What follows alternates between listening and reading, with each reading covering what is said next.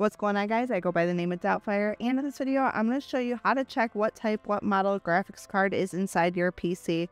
Two ways to go about it. You can search up Device Manager or you can just simply right click the start button and you want to head over to Device Manager. And then I'm going to drag this onto this screen right over here and you're going to see all these options. What you're looking for is display adapters. Bring that down and you can see here that I do have the uh, NVIDIA GeForce 4070 and yours will be whatever you have. If this video does help you out, please drop a like, consider subscribing if you're new. We'll see you on the next one. Peace.